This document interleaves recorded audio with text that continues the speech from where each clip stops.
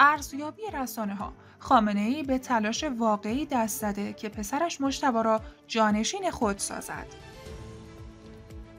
سیاست های غلطی که نسل ایرانی را به خطر انداخت. واکسن نخرید، بچه معلول بیاورید. لطفا پیش از هر چیزی با لایک کردن این ویدیو به بیشتر دیده شدن این اخبار کمک کنید. با سپاس از همراهی شما. و ارزیابی های بسیاری درباره آنچه در بیت رهبری میگذرد و میزان تسلط خامنه ای بر اوضاع و ابعاد پسرش مشتبه انتشار یافته است. در برخی ارزیابی ها آمده است که بیت خامنه ای به صورت مداوم تلاش می کند تا فرد مورد نظر آنها رهبر بعدی نظام باشد. موضوع جانشینی رهبر آینده ظاهرا در لایه های بالای نظام جمهوری اسلامی به یک بحران تبدیل شده و منتها نماد بیرونی آن فعلا پیدا نیست.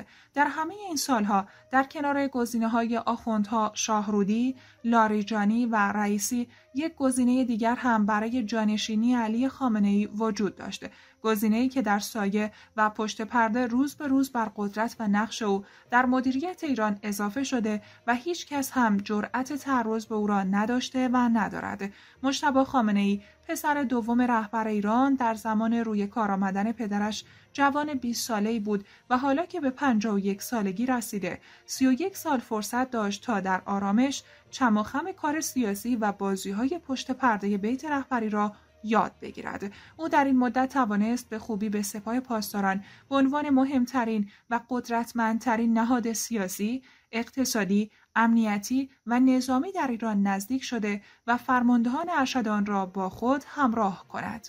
محمد محمدی گلپایگانی رئیس دفتر خامنه ای پیشتر فاش کرده بود که هم‌اکنون رهبری بخش زیادی از مسئولیت خودش را به مجتبی محول کرده است.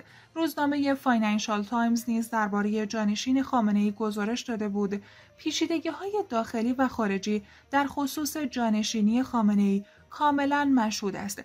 لذا سیاست اعطای مجال گسترده به سپاه در این راستا قرار دارد که سپاه بتواند نقش محوری خود را در انتقال قدرت ایفا کند. به نظر بسیاری از تندروهای ایران جانشین خامنه ای باید رهبری پراگماتیک باشد تا توان ایستادگی در برابر آمریکا را داشته باشد. در ادامه این گزارش با آینده سیاسی مشتبا خامنه ای پرداخته و نوشته بود مشتبا در حال حاضر در قم مشغول دادن درس خارج بوده و همین ویژگی از نگاه برخی از محافل او را از اهلیت علمی حوزوی برای این منصب برخوردار می‌سازد. به نظر این محافل ذهنیت سیاسی نظامی و اقتصادی مشتبا شباهت به پدرش داشته و روابط بسیار صمیمانه میان او و سپاه شکل گرفته است. در روزهای گذشته هم در اقدامی که ناظران آن را زمین چینی برای اعلام رسمی جانشین علی خامنه ای توصیف کردند. تصاویری از مشتبه خامنه ای در کنار تصویر پدرش با پشت زمینه پرچم ایران ترکیب و شعار لبک یا خامنه ای و ما پیرو اهل بیت خامنه ای هستیم منتشر شد. علی خامنه ای 31 سال پیش درباره معرفی وی به عنوان رهبر گفته بود باید خون گریست بر جامعه اسلامی که حتی احتمال رهبر شدن کسی مثل بنده در آن مطرح بشود. در تمامی سالهای رهبری علی خامنه ای موضوع جانشینی او از مهمترین و حساسترین موضوعات مطرح شده در ایران بوده و تاکنون نام افراد مختلفی برای جانشینی او مطرح شده که همه آنها به جز یک نفر جان خود را از دست دادند و آن یک نفر کسی نیست جز مشتبا خامنه پسر رهبر حکومت اسلامی ایران.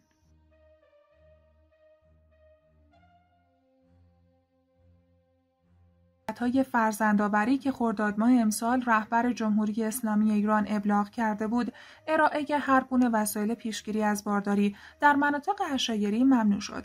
خرداد ماه امسال به دستور رهبر جمهوری اسلامی ایران شورای اجتماعی وزارت کشور با موضوع جمعیت برای تشویق فرزندآوری تشکیل جلسه داد.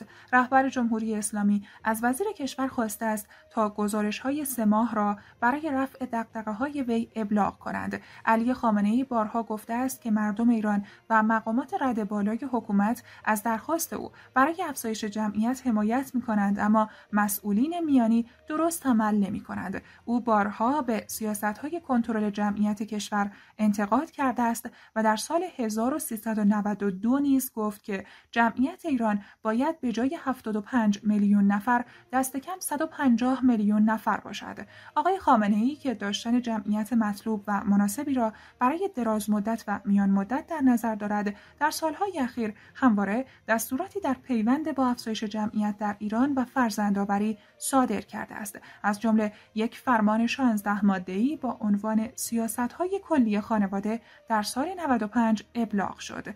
این در حالی است که بنابر دستور رهبر جمهوری اسلامی ایران مردم ایران حتی از دسترسی به واکسن کرونا در میان بزرگترین همهگیری قرن محروم هستند. علی خامنه ای روز 19 دی ماه طی یک سخنرانی رسما ورود هر گونه واکسن کرونا از آمریکا و انگلستان را ممنوع کرد و به این وسیله از دسترسی شهروندان ایرانی به معتبرترین واکسن های مورد تایید سازمان جهانی بهداشت ممانعت به عمل آورد. حال ماهنامه اندیشه پویا خبر از آن داد که در راستای اجرای های فرزند آوری وزارت بهداشت در بخشنامه به مناطق اشایری فرستاده شده ارائه هر گونه وسایل پیشگیری از بارداری را ممنوع کرده است.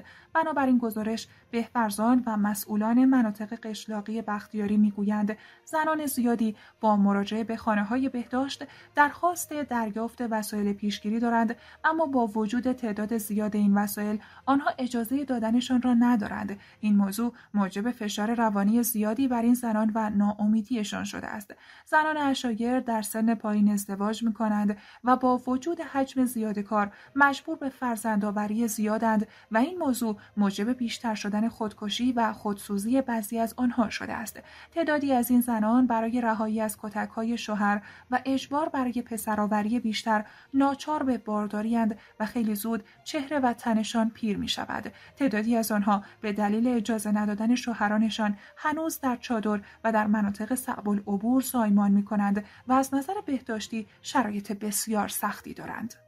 در حال حاضر هیچ طرح بهداشتی و آموزشی خاصی در ییلاق و قشلاق ایل بختیاری اجرا نمی شود. این زنان بار اصلی زندگی و اقتصاد اشایر را به دوش می کشند. ممنوعیت ارائه وسایل پیشگیری از بارداری در مناطق اشایری به منظور افزایش جمعیت اجرا می شود. این در حالی است که زنان اشایری دسترسی چندانی به شهر و داروخانه ها ندارند و بار اصلی فرزندآوری و افزایش جمعیت به رغم نارضایتی تعداد زیادیشان حالا بر دوش آنهاست. اجرای سیاست های فرزند آوری اجباری در شرایطی اجباری می شود که روز به روز از خدمات بهداشتی که در اختیار زنان و کودکان قرار می گیرد کاهش می‌یابد. روز گذشته جمعه کبرا خزلی رئیس شورای فرهنگی اجتماعی زنان و خانواده خبر از لغو قربالگری اجباری پیش از زایمان داده بود. او در حساب کاربری توییتریش این خبر را منتشر کرده بود.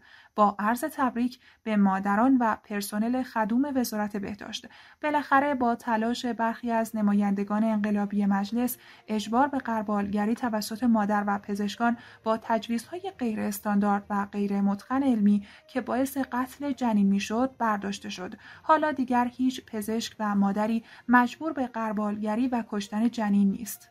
هرچند این خبر ساعتی پس از انتشار توسط خزلی حذف شد قربالگری از طریق آزمایش خون و سونوگرافی سلامت جنین را در ماههای مختلف بارداری نشان می‌دهد و یکی از روشهای تشخیص نقصهای مادرزادی و آسیبهای جنین است. این نوع قربالگری در ایران از اوایل دهه 80 آغاز شد اما اکنون به نظر می‌رسد جمهوری اسلامی بر اساس سیاست اعلام شده از سوی علی خامنه برای افزایش جمعیت ایران در پی لغو این قربالگری است اعتراضات به تصویب چنین قانونی در مجلس موجب عقب نشینی مجلس و وزارت بهداشت شد.